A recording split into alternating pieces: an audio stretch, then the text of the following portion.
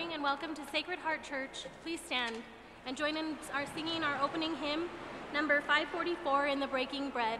Sing to the Mountains, number 544.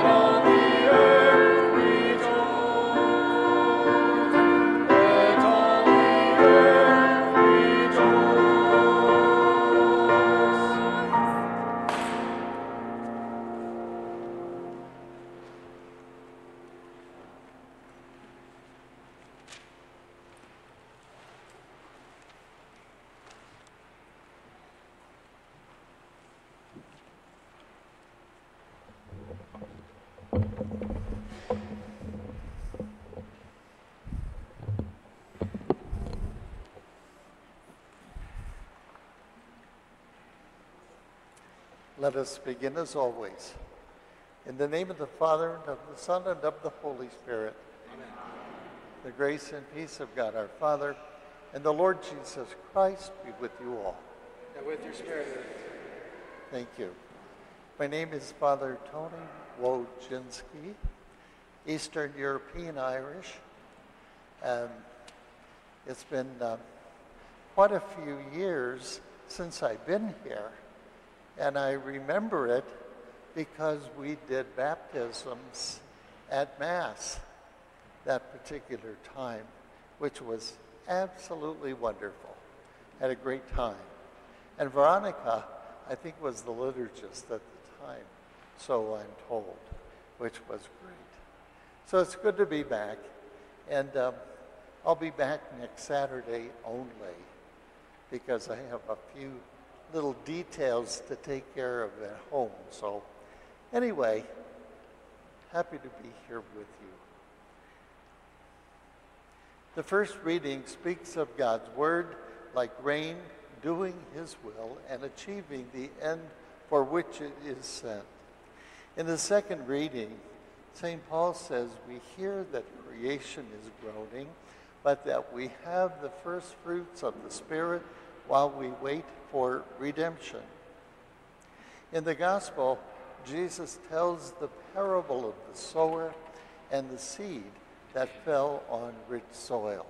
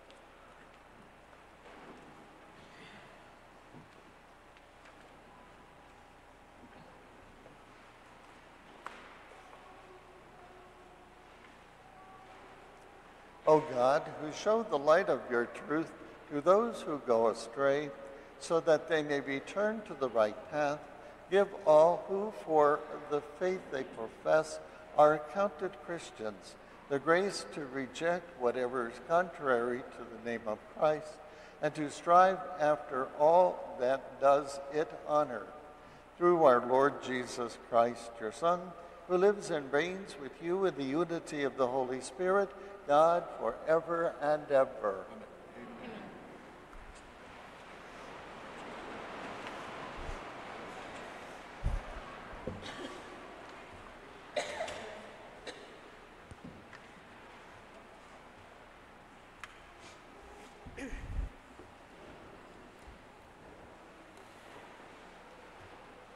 A reading from the book of the prophet Isaiah. Thus says the Lord Just as from the heavens the rain and snow come down and do not return there till they have watered the earth, making it fertile and fruitful, giving seed to the one who sows and bread to the one who eats, so shall my word be that goes forth from my mouth. My word shall not return to me void, but shall do my will, achieving the end for which I sent it. The word of the Lord.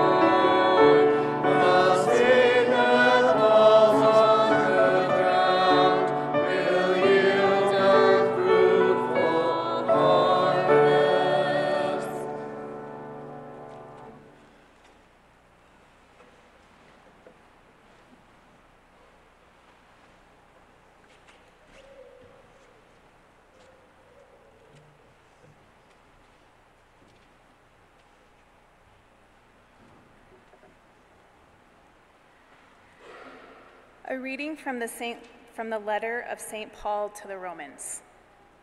Brothers and sisters, I consider that the sufferings of this present time are as nothing compared with the glory to be revealed to us. For creation awaits with eager expectation the revelation of the children of God. For creation was made subject to futility, not of its own accord, but because of the one who subjected it, in hope that creation itself would be set free from slavery to corruption and share in the glorious freedom of the children of God. We know that all creation is groaning in labor pains, even until now. And not only that, but we ourselves, who have the first fruits of the Spirit, we also groan within ourselves as we wait for adoption, the redemption of our bodies. The word of the Lord. Thanks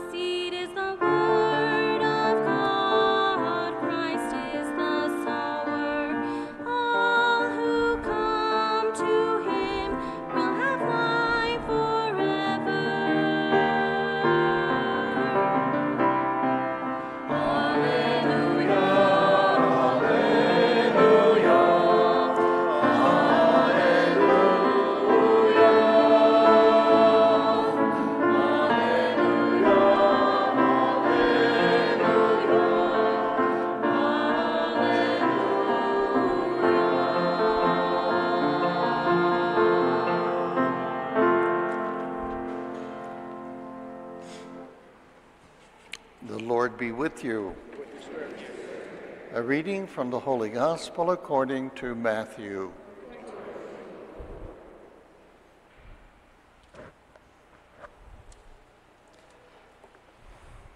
On that day, Jesus went out of the house and sat down by the sea.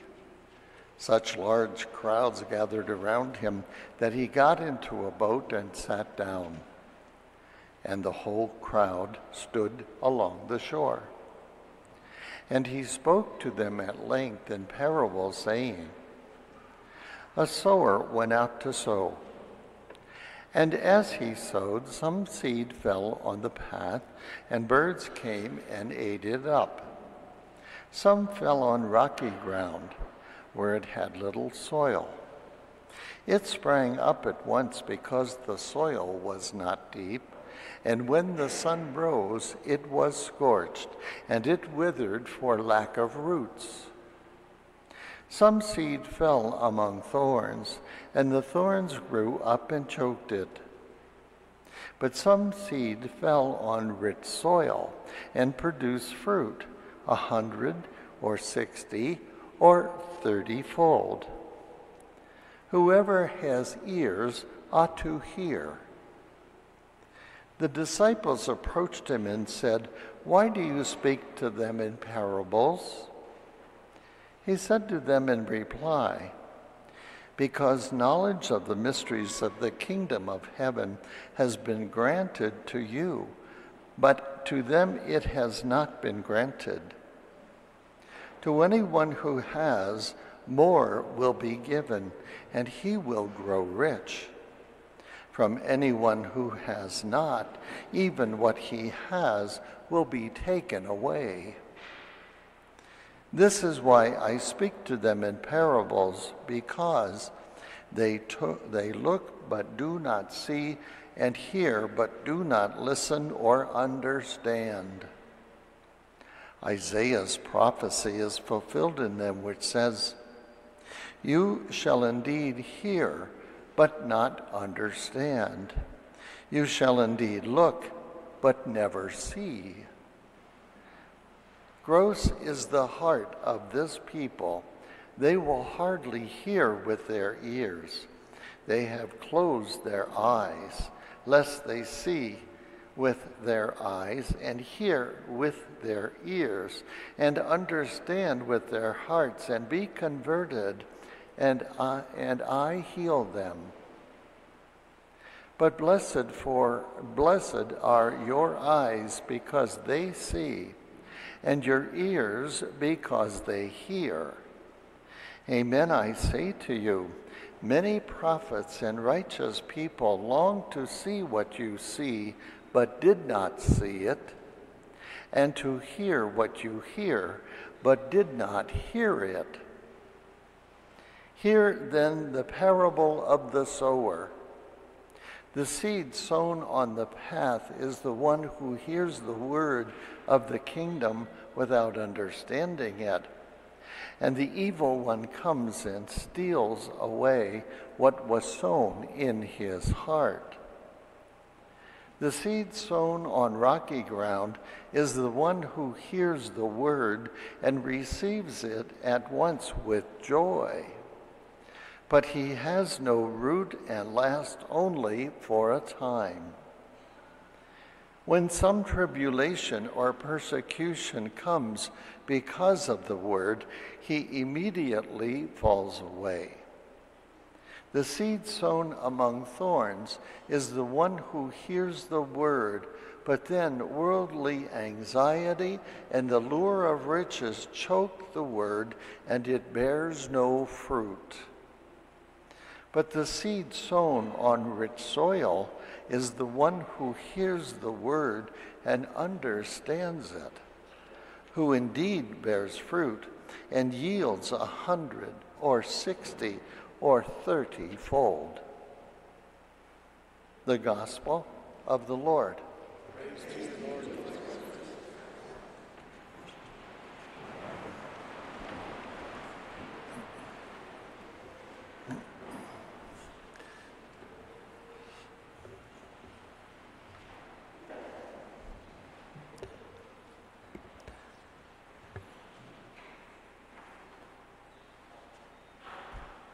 At the time of Isaiah, uh, the Jewish people from the southern kingdom which was composed of the two tribes, Judah and Benjamin, have now fallen to Nebuchadnezzar, uh, the Bal- uh, Babylonian um, emperor.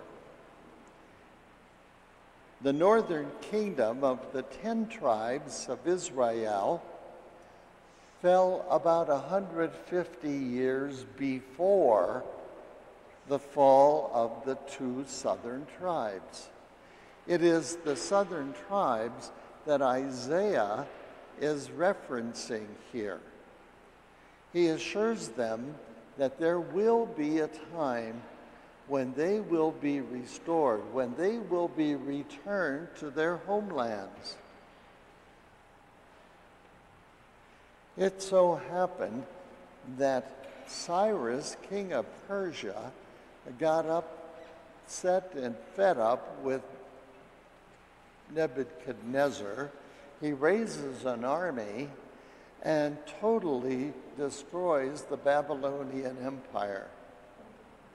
The other thing Cyrus does is allow the Jewish people and everybody else who were taken into captivity to return to their homelands. It wasn't just the Jews.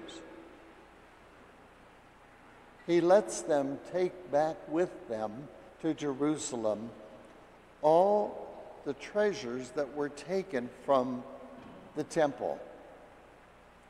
Not only that, but he sends with the Jewish people huge sums of money to rebuild the temple.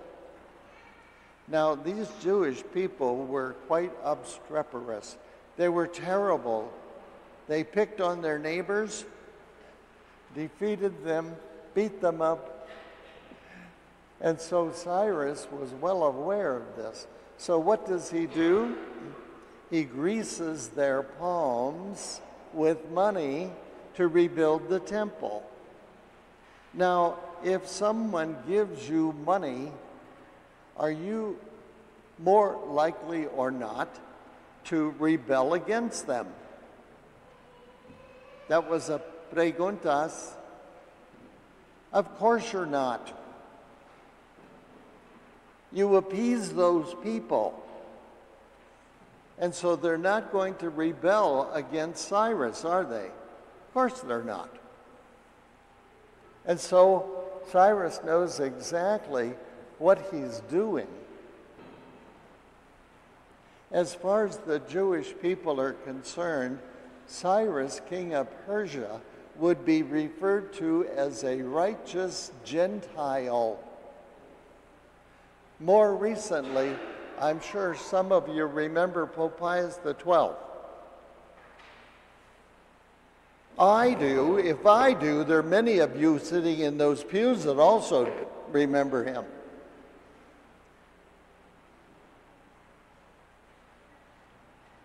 Pius XII was also referred by the Jewish people as a righteous Gentile. Why? Because he saved so many Jews during the Second World War. The Vatican would give them phony baptismal papers, marriage papers, all those other things that preserved their lives. In Italy, which was occupied by the Germans, huh? Pius XII, a righteous Gentile as far as the Jewish people were concerned. Now we get to Paul's letter to Rome. Paul writes this letter somewhere between 57 and 58 AD. Paul always went to Jewish synagogues first when he visited a city. Why? Why did he go to Jewish synagogues first? That's another preguntas. Paul was a Jew, wasn't he? He knew the Jewish people. He knew their history. He knew their laws. and their traditions. So he goes there first to talk about Jesus of Nazareth. Remember, Paul's problem with every community was that he had Jewish Christians and he had Gentile Christians, huh? And to try to bring those two groups together, he had to be a real wizard.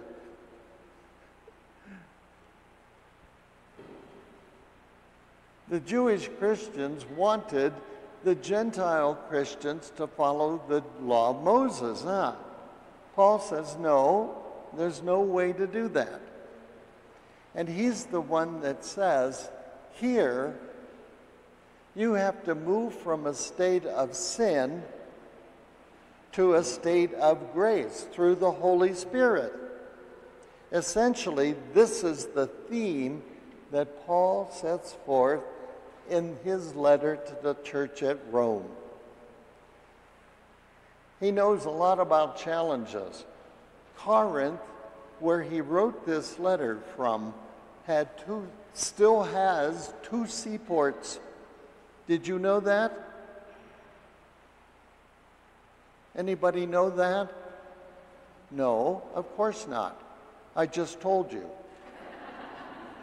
not only that,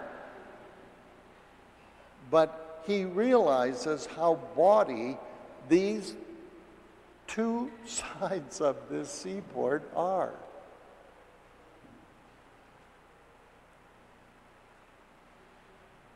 The people themselves were a tremendous challenge to Paul in the city of Corinth. I've had the privilege of standing on the bema where Paul preached in Corinth. Talk about humbling you.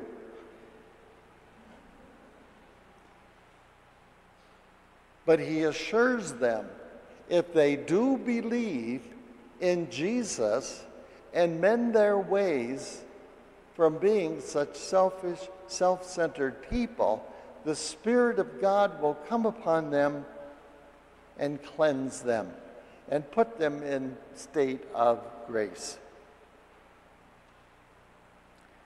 Then we come to Matthew's gospel. Matthew writes this gospel somewhere around 85 AD. And at that point in time, the church is pretty well established. Here, he finds Jesus using parables to teach. Remember last week's gospel? Anybody remember last week's gospel? Were you in church last week?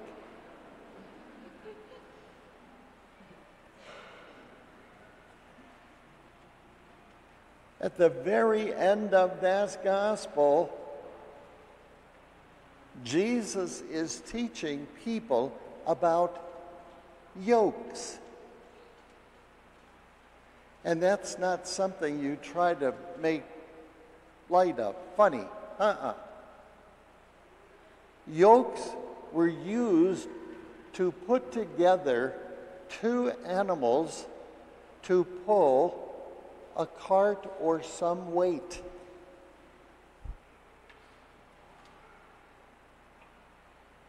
You wonder what Jesus was doing for about those 18 years, huh? Between the time Jesus and is found in the temple by Joseph and Mary. Why have you done this to us? Don't you know we were looking for you? And he went down and was obedient to them. So, what do you suppose he was doing for those 18 years? He was measuring oxen, wasn't he? To make yokes for them. No two oxen were the same. Some were bigger than others, others were thin, others had big backs. They had to be carefully measured so that the yoke that was built for them equally distributed the wheat, the, the weight of that. So they could pull that load equally. Jesus had to be very good at that. My yoke is easy, my burden light, because I know how to measure you. That was last week, yeah. Now, he uses another parable to help people understand the sower of seed. To continue that process of making sure that everything is done properly. There's a wonderful story told about the Tennessee Valley Authority. Anybody remember the 1930s? I don't myself. I'm not that old. But the TVA, when it was building dams along the Tennessee River, had to move a lot of people out of the way. And they came upon one family along the Tennessee River that lived in an old ramshackled cabin. When they and others moved into that area, they had no matches. And so what did they do? They struck fire from what? Flint. Yes, flint. And in that tradition, for three generations, in that family, someone was always charged with making sure that the fire in the fireplace did not burn out. How about that? A hundred years, and someone always saw to it, usually the oldest person in the family, was charged with making sure that the fire did not go out. This family would not move. The workers at the TVA couldn't convince them. The project manager at TVA couldn't do it. Finally, they called in a social worker. You know they're desperate. I have a master's degree in social work, by the way, so I'm talking about myself. And she asked, Why are you refusing to move into this beautiful ranch house that TVA had built above the site where their original homestead was? And the father of the family said to them, Well, you know, when we first moved here over hundred years ago, nobody had matches. So what did we do? we lighted fire with flint. And the oldest child or the father was charged with seeing to it that that fire did not go out. And for a hundred years, that tradition was maintained in that family. Now we're about to lose the thing that really got us started here.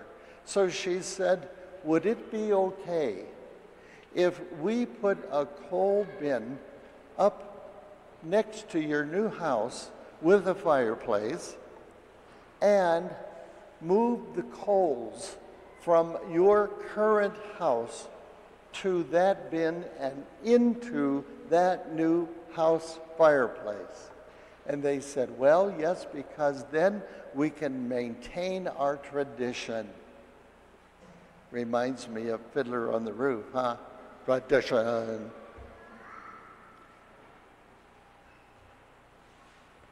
You see next to the tabernacle a vigil light. And for hundreds and hundreds of years in the church, the first action at the Easter vigil is what? The lighting and blessing of the Easter fire, isn't it?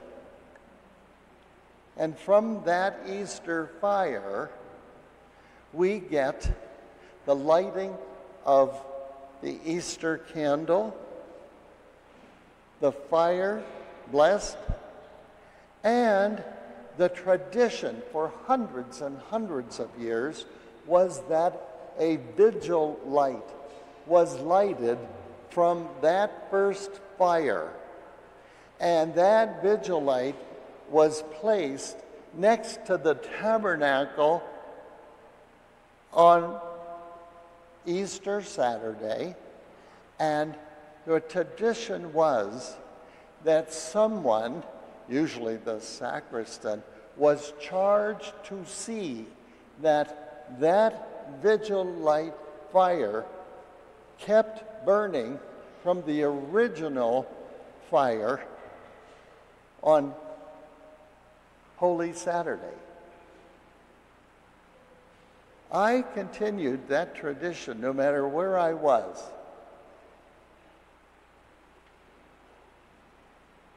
I even had a permit from the Pueblo Fire Department hanging on my office door that allowed me to keep a vigil light from the Easter fire burning in my office. How about that? I was even legal. But it's a wonderful tradition that someone should establish if you don't have that now. Just as that family kept that fire burning in their fireplace, they knew what that meant to them. It was a sign and signal of their dedication to that family tradition. We have a kind of similar thing here, but this is probably not from your Easter fire. So come Holy Saturday, whoever is the sacristan, make sure you get an eight day candle and make sure you light the Easter fire, that candle from the Easter fire. So that tradition, you know that that flame comes from the Easter flame on Holy Saturday night. Traditions become so important. Jesus realized that. He maintained traditions among those Jewish people that they could relate to and left meaning in their lives. We've lost so much of that. It's the kind of thing we need to restore, to bring us back to our roots and keep us grounded in what it was that even Jesus and Paul himself taught to those early Christians and disciples.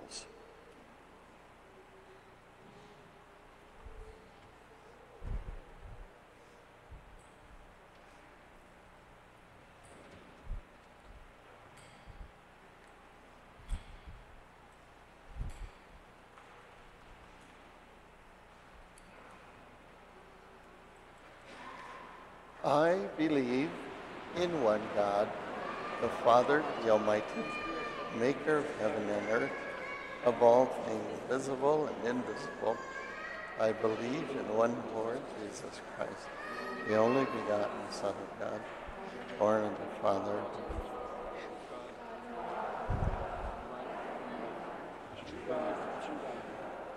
Begotten of me, consubstantial with the Father, through him all cross.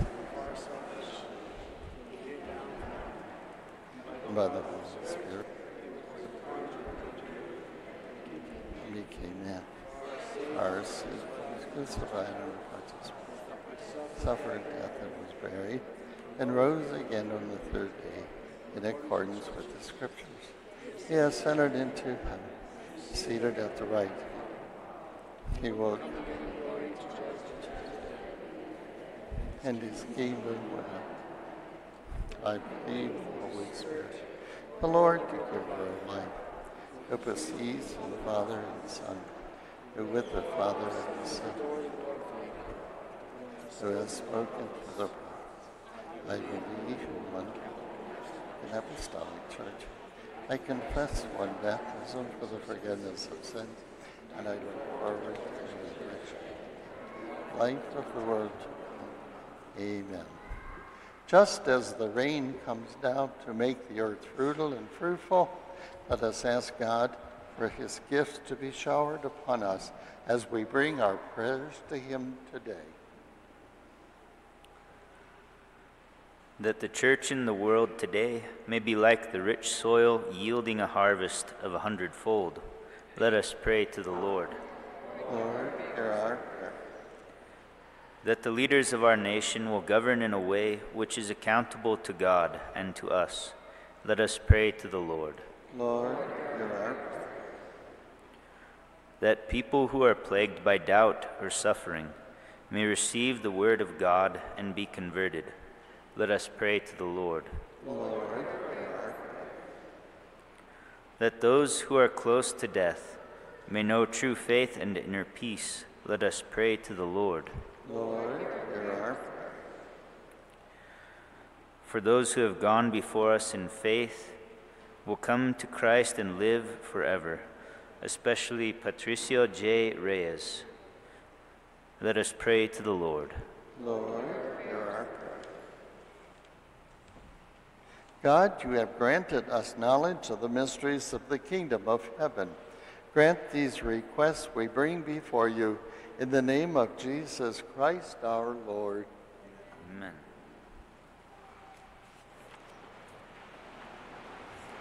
Uh, please join in singing our offertory hymn, number 614, in your breaking bread uh, for the beauty of the earth. Number 614.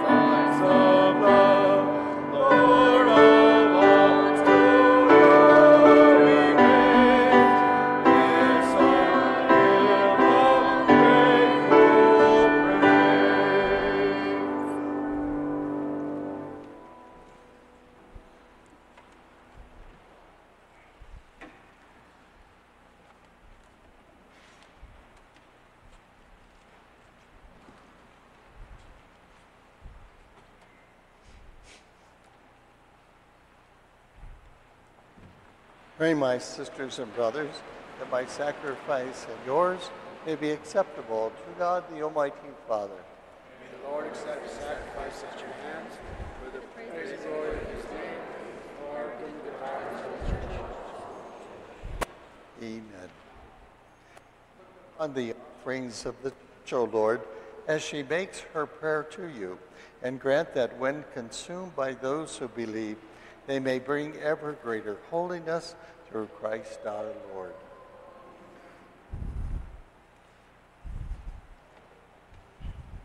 The Lord be with you. With your spirit, Lift up your hearts. lift them up to the Lord. Let us give thanks to the Lord our God. It is right and just. It is truly right and just, our duty and our salvation, always and everywhere to give you thanks, Lord, Holy Father, Almighty and eternal God. For you laid the foundations of the world and have arranged the changing of times and seasons. You formed us in your own image and set humanity over the whole world in all its wonder, to rule in your name over all you have made and forever praise you in your mighty works through Christ our Lord.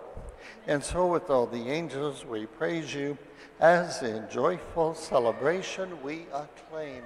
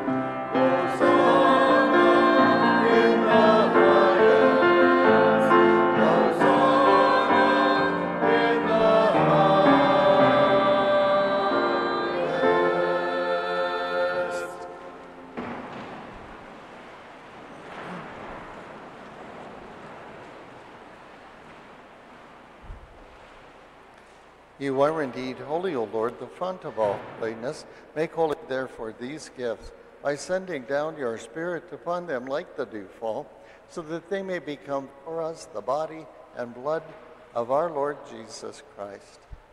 At the time he was betrayed and entered willingly into his passion, he took bread and giving thanks, broke it, and gave it to his disciples, saying, Take this, all of you, and eat of it, for this is my body, which will be given up for you.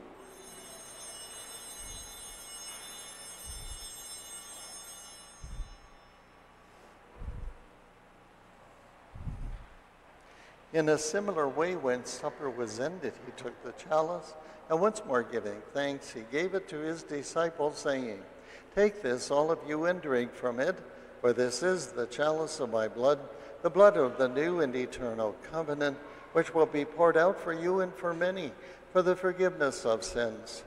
Do this in memory of me.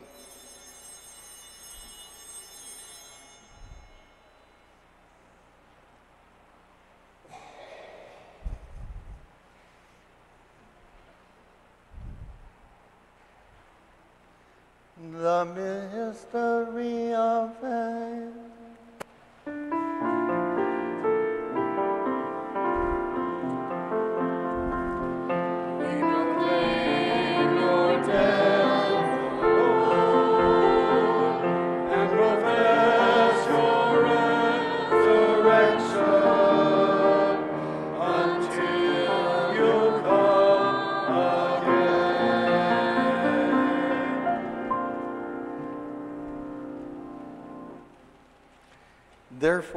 we celebrate the memorial of his death and resurrection, we offer you, Lord, the bread of life and the chalice of salvation, giving thanks that you have held us worthy to be in your presence and minister to you.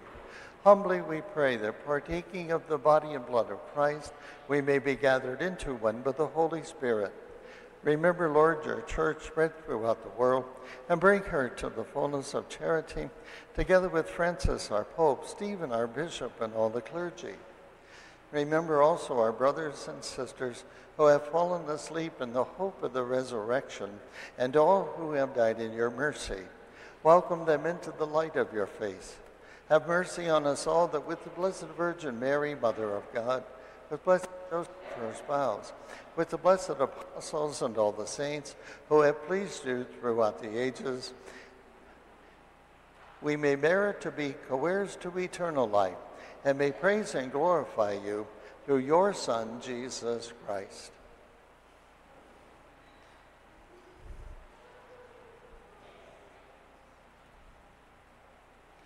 Through him and with him and in him, O God Almighty Father, in the unity of the Holy Spirit, all glory and honor is yours forever and ever.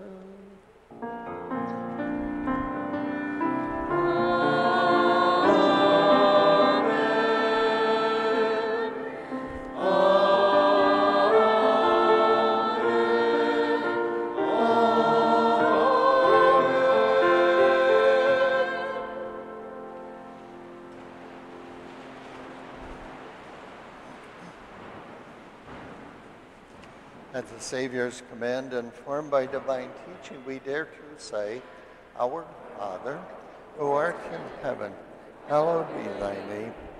Thy kingdom come, thy will be done, on earth as it is in heaven.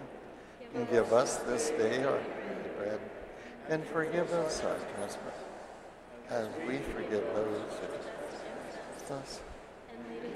Not into temptation, but deliver us from evil. Deliver us, Lord, from every evil. Graciously grant peace in our days, that by the help of your mercy we may be always free from sin and safe from all distress, as we await the blessed hope and the coming of our Savior, Jesus Christ. For the kingdom and the power and the glory are yours now and forever. Lord Jesus Christ, who said to your apostles, Peace I leave you, my peace I give you, look not on our sins, but on the faith of your church, and graciously grant her peace and unity in accordance with your will, who live and reign forever and ever. The peace of the Lord be with you always. With. Let us offer each other the sign of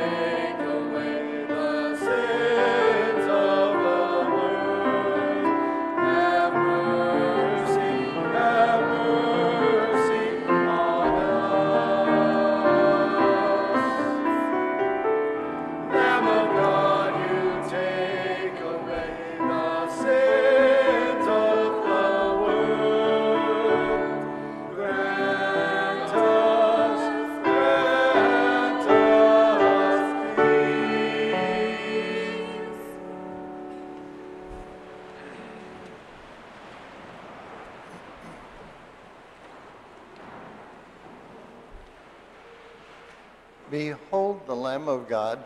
Behold him who takes away the sins of the world. Blessed are those called to the supper of the Lamb. Lord, I am not worthy that you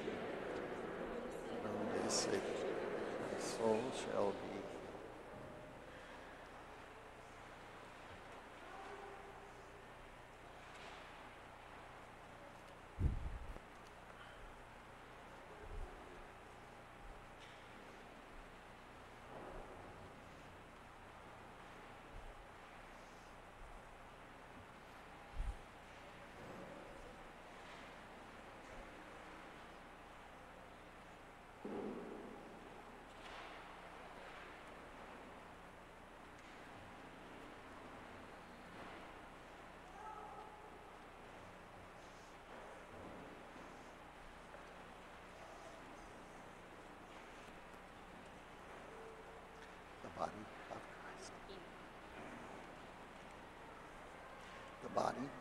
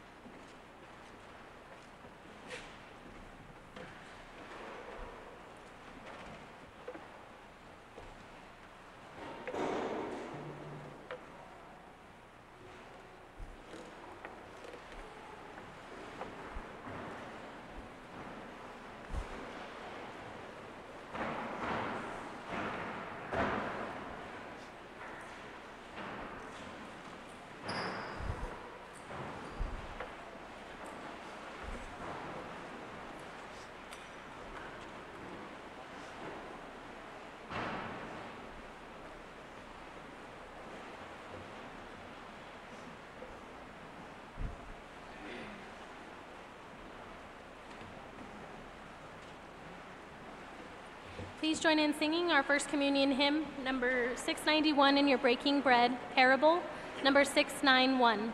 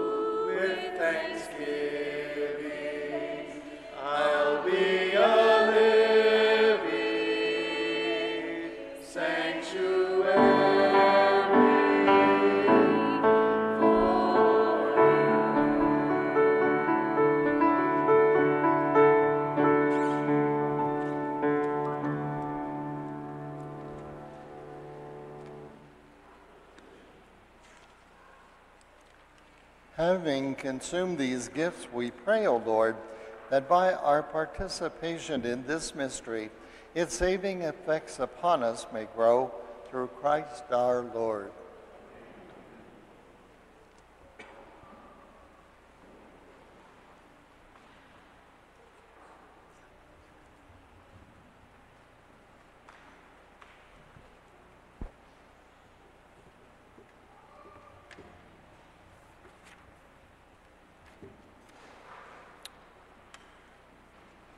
For announcements, every first Thursday of the month, there will be a Mass in the chapel here at the, um, the parish offices for the Charismatic Group at 7 p.m. All altar servers and their families are invited to a lunch and retreat here next Sunday. And this will be a retreat in gratitude for the ministry of altar servers to God and His church. We'll be beginning at 11:30. There will be a talk on St. John Berchmans, who is the patron saint of all altar servers, um, followed by lunch and then adoration. And That will be concluding at 1 o'clock. Um, Friday, August 18th, Delmar Carpet will be installing new flooring at the office here. Uh, so we, the office will be closed on the 18th of August, um, just to get that done. All right, thank you.